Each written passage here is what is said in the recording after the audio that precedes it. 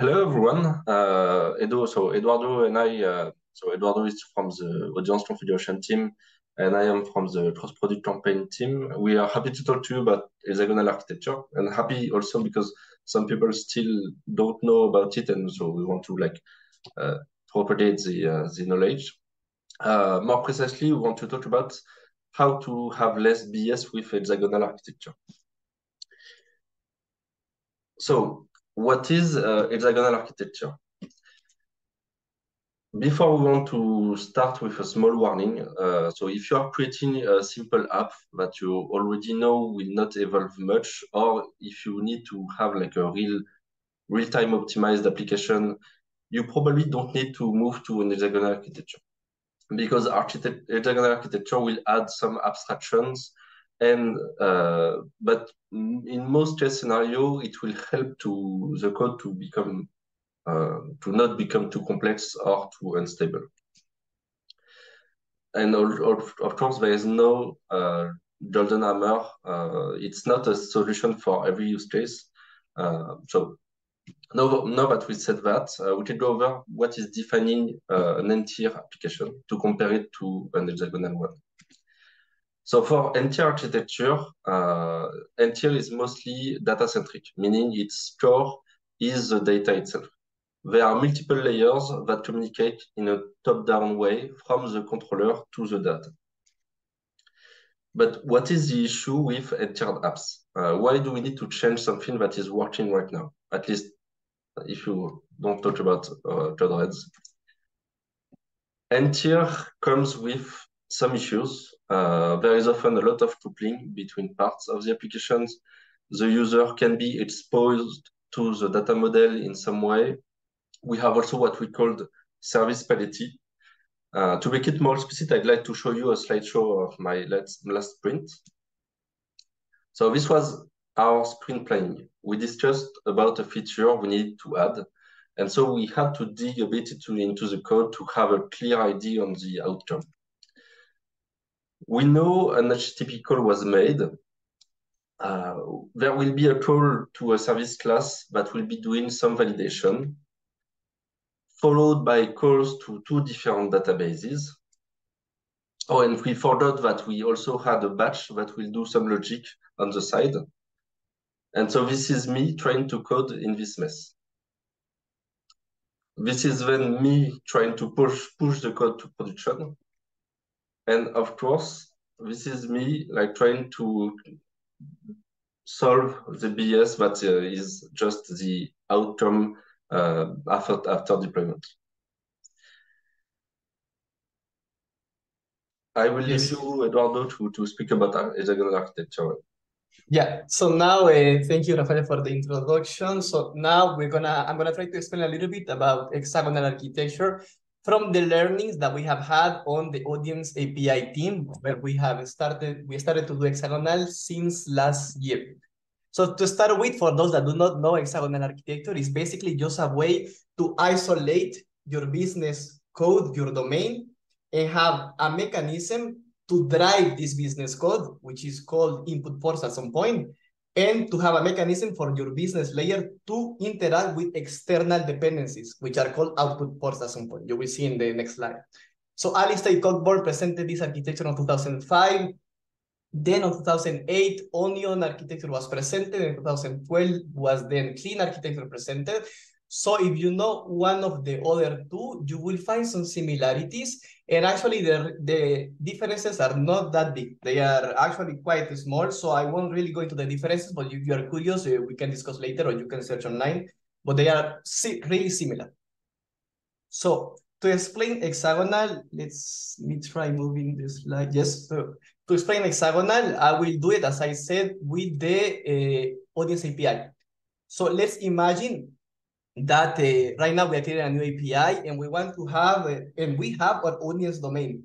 So our business layer or core logic is, it is placed in what we will call inside the hexagon. So you can imagine an hexagon and inside of it, we have all the business logic. That's where we have uh, all the classes where we're gonna put the, the business layer. So as an example, let's say that uh, we will want to create at some point a workflow to create audiences. So in Audience API, we have uh, we are using uh, command query segregation at least on the on the inside the hexagon on the business layer. So we will create something like a command called audience create, and we will create a handler called audience create handler. So right now we have we put a command inside, and uh, as I said, inside the hexagon, we are talking about plain classes. We do not have dependencies, for example, to Bolso REST contracts. We don't have dependencies to databases. We don't have dependencies to entity framework, anything like that. We just have our business logic as simply stated as we can. And so now we have the, the empty command because it is not doing anything.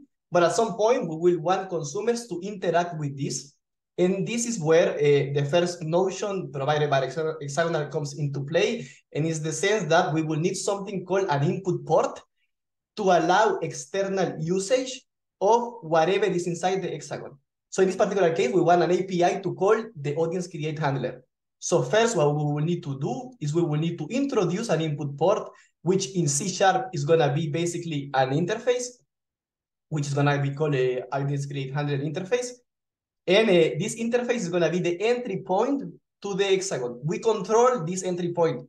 All the rest inside the hexagon, most of it can be internal, but we decide what can be accessed from outside, and this input port is one of them.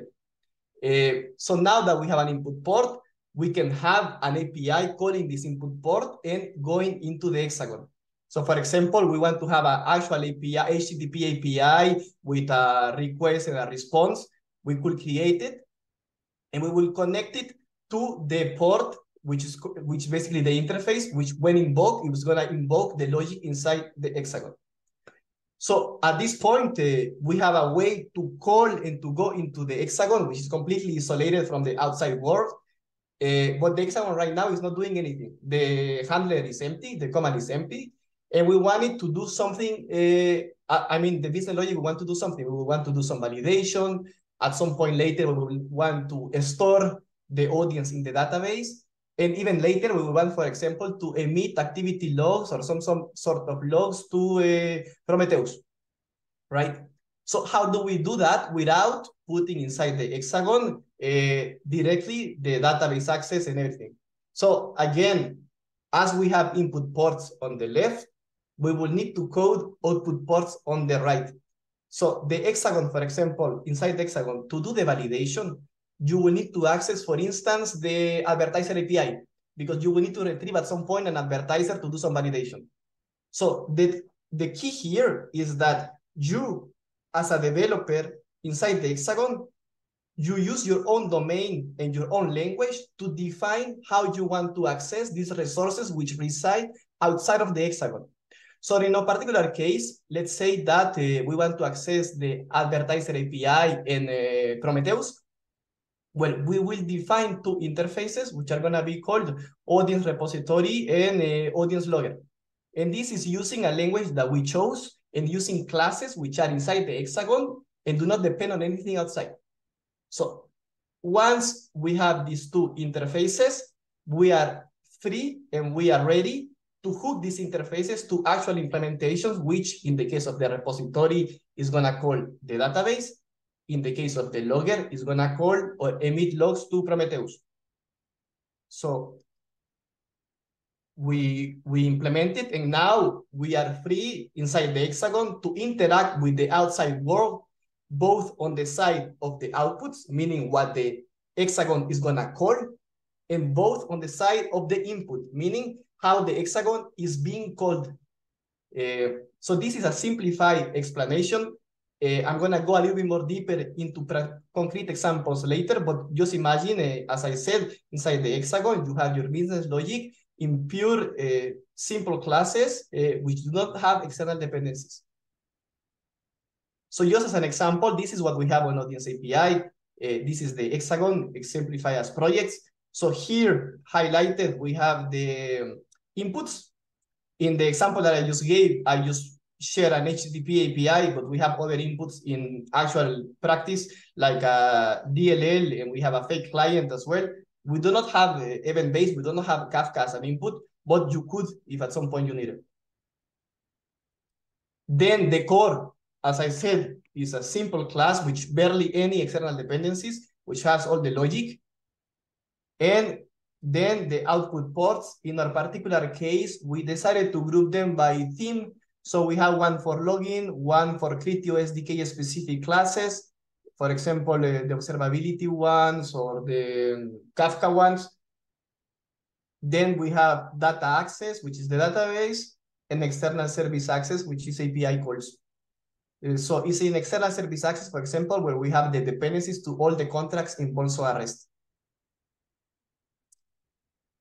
Uh, so we wanted to share some of the benefits that we have found uh, by using this architecture and how it has helped us.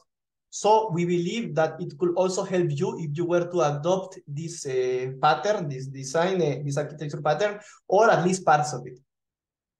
So to start with, uh, let's go with the fact that it has helped us reduce coupling. And this is something that happens a lot in Criteo code bases. I have seen it, and even me, or when I just joined Criteo, I've done a lot of this. So uh, it's something that I believe it can improve. It's, for example, uh, when you are interacting with entities in Criteo, because we have Bolso RS, it's pretty convenient to import the Bolso RS contract and just use them inside the Hexagon. But actually, what you will need to do in this case is you need to be mindful that if you want to consume an advertiser, for example, in the audience domain, we do not need all the properties defined by the advertiser. We do not need the description or the name, for example. We, we do not use this. We will use probably just the ID and the type. So when you define the advertiser, you will need to redefine it inside the hexagon with your own language and the properties that you need. So in this particular case, for example, we have the ID and the type, and that's it. The benefit of this is if the advertiser team at some point, for example, need to refactor the advertiser entity, which is used Criteo wide, for example, they need to remove the description, we won't get impacted by it because uh, we don't use it because we map it as a we only took the properties that we needed, which is the ID and the type. So one important thing to reduce the coupling in these cases is to uh, introduce a mapping from the external world to the internal world. And just as a quick example, this is how we define the advertiser in Audience API.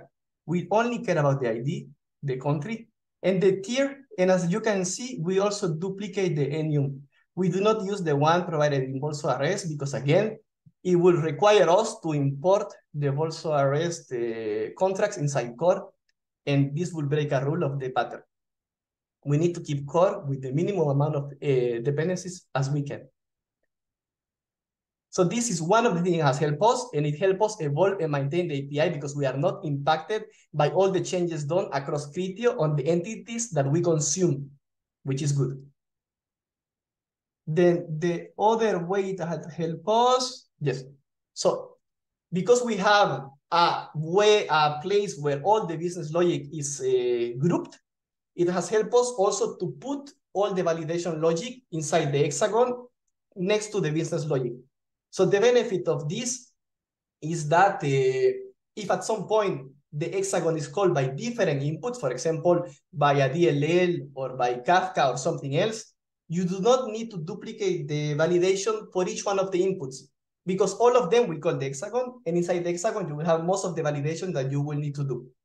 So as you can see here in Audience API, we have around 150 uh, validation rules, which are using uh, some custom framework that is was shared on WebApp, but it's available for anyone inside Criteo that wants to use them. It's in a shared project. And outside, we have 23 uh, rules, which are using Fluent validation. These ones uh, basically we were forced to put them outside. There was no way to put them inside, and this one had to be shared across the different input ports. Uh, let me move to the next. And uh, this is just a quick example of how the validation rules looks inside the hexagon. We have 148 of these kind of classes where we have, a, we try to keep pretty concrete what each one of them do so they are easy to read and maintain. Then uh, I guess this is one of the main benefits of the hexagonal architecture itself is that it's allowed you to easily support multiple inputs. So for example, when we started and we conceived the audience API last year, we started just with the Criteo internal API and we coded the hexagon and we had the Criteo internal API. Then at the end of the last year, we needed to publish the public API. So we introduced another input, which uh, most of the logic was already coded. We only needed to do the API layer, which is the one that we work with the API guild to define the proper contracts and whatnot. And then uh, as the adoption grew and more people started to use the API, we started to integrate with another team inside the audience group, which had a use case, for example, where they needed to load the entire database of audiences uh, from the database. So they need to load all the thousands, I don't know how many audiences from the database. Uh, so at that point, we said maybe HTTP is not the best way to do this because it will, it, JSON serialization and deserialization will take too much time. So we got to, an agreement with them where we will provide just for them an assembly which they can use to interact with our hexagon, with our API. And we provide just for them a DLL, uh, which they can use to retrieve the entire list of audiences and segments from the database without having to go through the HTTP layer, which is faster. Uh, so these kind of evolutions are allowed by the architecture. And at some point, you could have Kafka here if you wanted, for instance, if you want to be called by events. But for now, this is what we have. Uh, then there is a delay on the next slide. Okay. There we go. So another way to has help us is that since last year, the teams have changed quite a bit. At some point, we were one team, then we got split, then we had interns, then we had people joining. And uh, something that is pretty good is to have uh, rules or conventions that are easy to explain to newcomers and which they can use to guide their learning of the new code base they are working. So with Hexagonal in particular, I have personally found there are certain rules that are really easy to explain, to adopt, and to enforce. Right now, we don't have automatic automatic enforcement of these rules, but uh, during the review, they are pretty easy to see if someone is breaking it and we try to put some comments on the codes to help the developer to not break them. So one of them is, for example, between the, between the input ports and between the output ports, there shouldn't be direct references between them. You do not want a project that is focused on Kafka to depend on the API project because then you couple you just couple Kafka with HTTP and you don't want to do that the same way that you don't want the project that has to be has to do with API uh, have a direct relationship with the one from the databases because then you are coupling maybe entity framework, for example, which is a C sharp specific uh, framework with the um, also a REST contracts, and maybe you don't want to do that. You can have shared projects which both of them depend, but we try to not have the direct relationship between each other. Another rule is, for example, the inside of the hexagon never references the output or the input adapters outside of the hexagon. We do not have any dependency on HTTP inside the hexagon, and we advise that we should try to adopt this in different projects as well.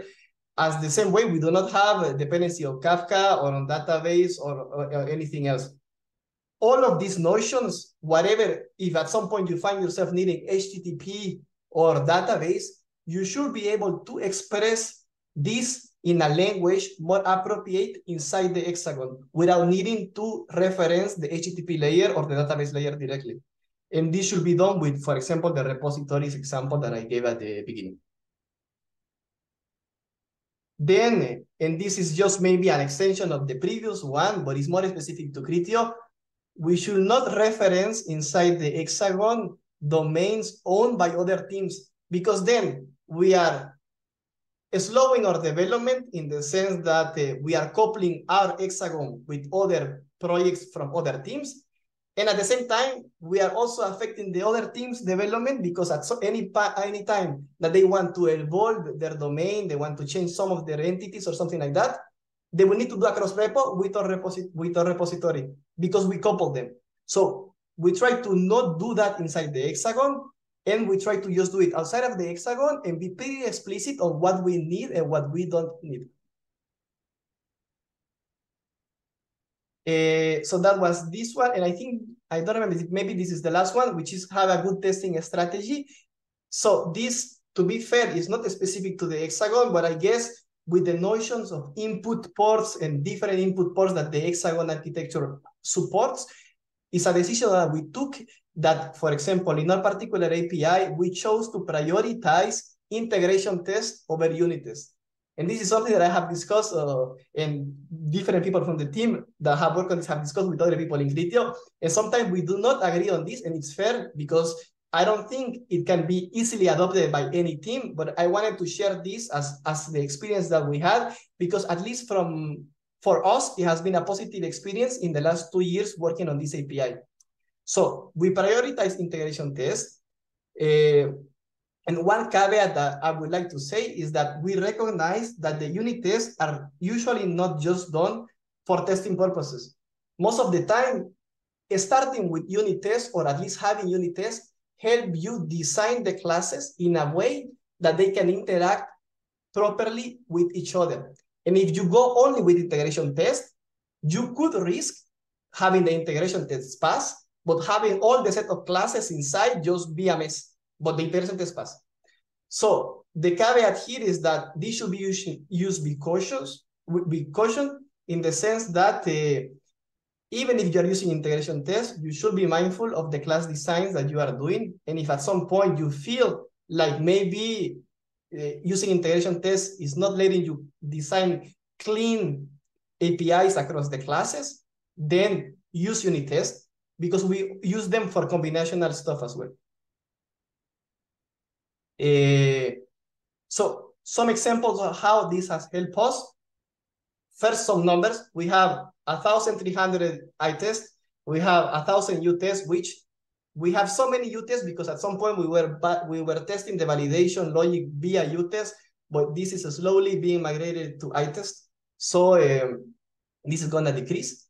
Locally, it takes around five minutes the I-test, around three minutes the, the U-test, and in the CI, it takes around two minutes. As a team, we do not feel writing I-test has decreased our speed.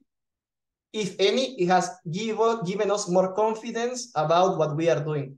Because uh, the benefit of the I-test with Hexagonal is that we are testing all the input ports with the same test suite. So we have the public API tested the same way, covering the same things as the I-test, which are also covering the same things or most of the things as the direct client DLL that I showed before. So we have coverage across the three input ports that we support.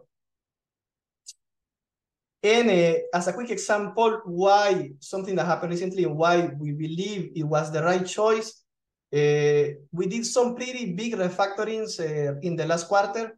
One of them was that we introduced Mediator to be used instead of the manual interfaces that we have for the command and the queries. Uh, this one required no change on the I-test. We didn't have any mocks to change because we, we are not really mocking anything almost at all, just the external dependencies. Uh, but the I-test remained the same because when we adopted Mediator, the inputs remained the same. Mediator was an internal refactoring. It didn't have to affect the inputs ports, and it didn't. And that's why the I-test confirmed that by staying the same and passing after we implemented Mediator. And the other big change was that uh, recently we introduced the retail media domain inside our API, and we split core into marketing solution and retail media. And again, this was done inside the Hexagon. And the APIs that we had up until this point, we wanted them to stay the same. So the I-test continued to validate this we did not have to change the I-test when we did this refactoring, maybe just some mocks that we had for external dependencies. But for the rest, the I-test guarantee us that all the workflows that we have had up until this point, they continue to work, they continue to pass. So it's a, personally, I, I really feel it's a great benefit to develop this way because you have a lot of confidence on the changes that you are doing. And uh, these are at least some of the things that we have detected that it has helped us. So now uh, I will let Rafael continue with maybe uh, ideas from transitioning from n-tier to hexagonal. Yeah, so now we'll go over how we can migrate from an n-tier architecture to an hexagonal one. So this is an example of a simple three-tier app. Uh, so one layer is the controller, one layer is for the business, and one is for the data.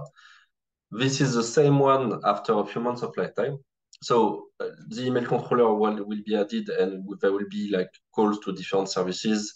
It will fetch data from different sources. Same goes for the campaign controller. And this is like standard day-to-day -day, uh, application that we have like in most of our repos. It will grow uh, incrementally, and so we, we need to like control the complexity. Uh, a lot of apps are getting more complex as time goes by. Uh, either it could be like adding technical debt, coupling between part of the apps or even other apps, and uh, complexity overall. So hexagonal architecture is mainly domain-based, which need, means that we want to have something which is more logical. Uh, we don't want to pollute the main business use case with data models, technical details, external dependencies. Uh, so DDD, what, why, and uh, why, what is this slide? Uh, Domain-driven design, uh, I wanted to talk a bit about it because it's already also linked to, uh, to hexagonal architecture. it's a tool. in it, there are like strategic patterns that are there to help define what we call ubiquitous language, bounded context, context maps, and more. These are like standard definition in DDD to like help separate concerns and to try to have some way to split uh, use cases, business needs, and uh, and other uh, like use case or business related topics. So to move towards against hexagonal architecture, we want to have something which is more domain oriented. So often we have to use DDD as a tool to like go uh, forward. This is why DDD is a great approach to help define uh, and like what we call bounded context.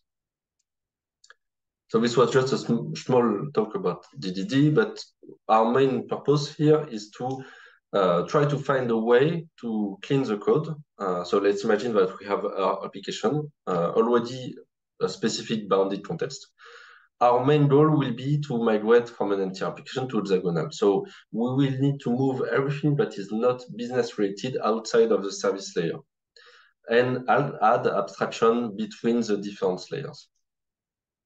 To do that, uh, so let's go a bit practical. We have like a controller, a service, and a, and a data layer. This is what typical n-tier app will look like we have calls from the controller to the service to the data, and the injection will be done from the data layer inside the service, from the service to the controller. So this is like standard uh, API stuff, which we have in lots, lot of applications. But we want to change things a bit. So we start focus on our, this class to, to create a domain core class. We don't want any dependencies to a framework or infrastructure related.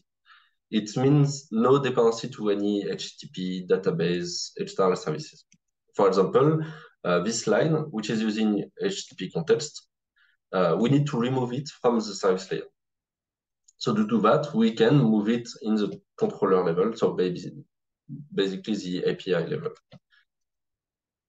We also want to abstract data model. So we don't want the user to be exposed to data model. We want to have an abstraction so that even if there is a change in the database, we don't have any change in the contract of the API. Even if we have some change also in the service, we don't want that, for example, uh, a specific API is, doing, uh, is sending a response.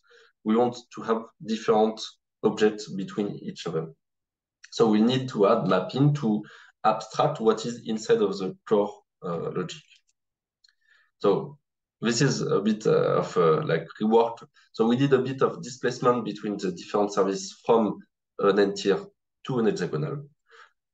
So most of the time in the hexagonal, we have the, the API level, the infrastructure level, the data level, and also the core domain, which is at the center.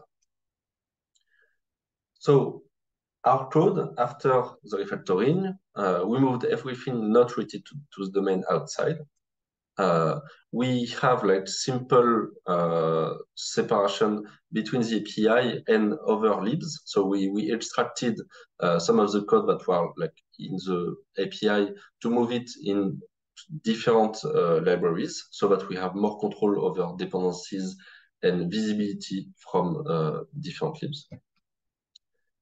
We also changed a bit. So we add mapping to like differentiate between what is exposed in the API, what is exposed in the database. so that we can have like better control over what we uh, fetch like data-wise and what we give as a result.